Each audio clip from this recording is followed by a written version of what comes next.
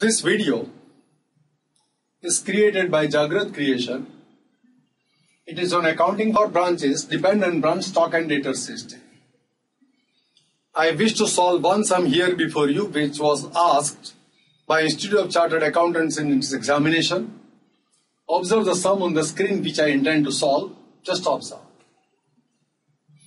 Concept and Company with its head office at Mumbai has a branch at Nagpur.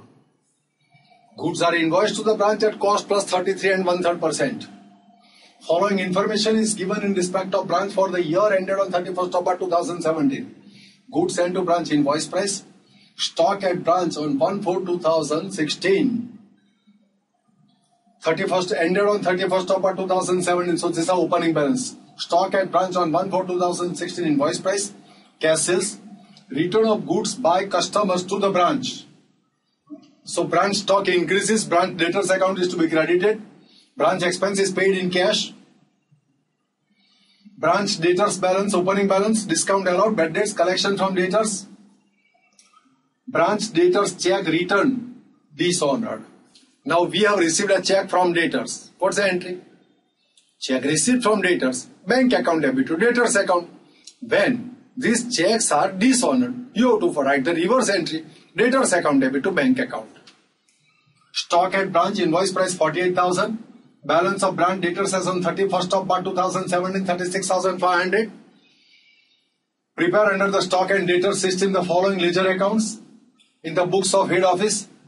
Branch stock account, branch debtors account, adjustment account. Compute the shortage of stock at branch if any. So here we are required to find out the shortage of stock. That's an important point. Now let us start with preparation of accounts. Books of head office, branch stock account, debtors account, goods sent to branch account, expense account, stock reserve account, adjustment account. Now goods sent to the branch at an invoice price 4 lakh 80,000.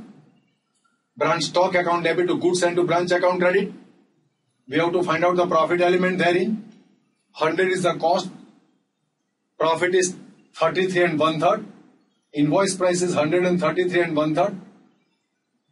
Goods sent to branch at an invoice price 4 lakh 80,000. So find out the profit element therein.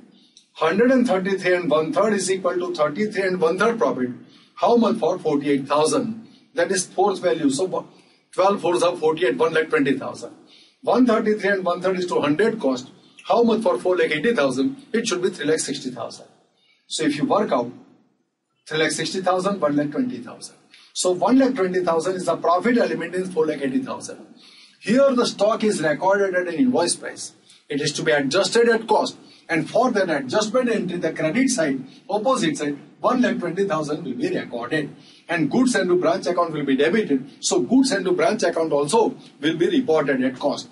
So for this profit element entry, goods sent to branch account, debit to branch adjustment account credit, this is how stock initially record, goods sent to branch initially recorded at an invoice price is adjusted to cost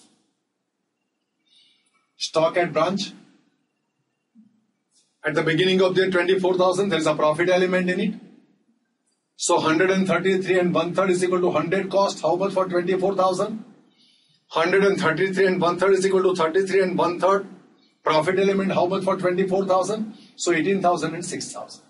So there is a stock reserve of 6,000 opening balance that is to be transferred to adjustment account, stock reserve account, debit to branch adjustment account credit, 6000. This is how opening stock gets recorded.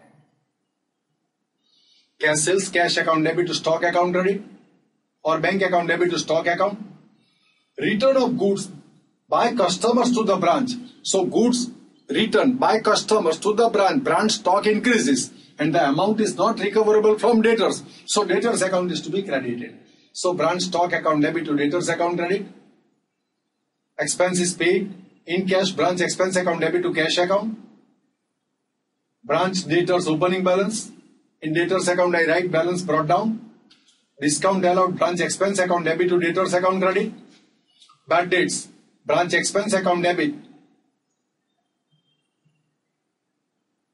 Discount allowed is already recorded. Now next bad debts, branch expense account debit to debtors account credit, collection from debtors. cash or bank account debit to debtors account credit, checks return, reverse entry, debtors account debit to bank account, stock at branch 48,000, let me find out the profit element therein. So 133 and one third is 200, how much for 48,000? That is the cost. So 36,000 and 12,000 is the profit element for which the stock reserve is to be created. Closing balance of stock reserve should be 12,000. How the entries to be recorded? Branch adjustment account debit to stock reserve account credit. So branch adjustment account debit to stock reserve account credit 12,000. So closing balance will be 12,000. This is how the stock recorded here at an invoice price for that stock reserve closing balance appears in the balance sheet 12,000. Now branch debtors closing balance recorded in the credit side. Now I have completed practically all the transactions. Now I should start closing of these accounts. First of all, this side total is how much? So like 15,000. Here credit sales detail is missing. So goods sold on credit, branch debtors account debit to stock account credit. Now in this stock account, this is the increase in stock. This is the depletion of stock, closing stock. So here you can find out the shortage. File at 10,000 minus all these things, you will get the shortage. And this shortage, loss of stock, is considered as an abnormal loss. And when it is an abnormal loss, here you will find by missing number is an invoice price of abnormal loss. And invoice price of abnormal loss has a profit element and cost element. The profit element will be adjusted in adjustment account and the cost element will be debited to profit and loss account. So the invoice price of stock shortage is 2000. In this 2000 we are required to find out the cost element and profit element. So 12,000 into 1 fourth 500 is the profit element. 12,000, 2,000, I'm sorry, 2,000 minus 500, 1,500 is a cost element.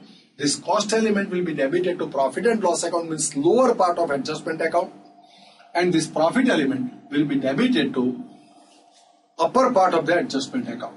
So 15,000 is debited to profit and loss account. Remember this is a lower part of adjustment. This is upper part. 500 will be recorded in the upper part of adjustment account.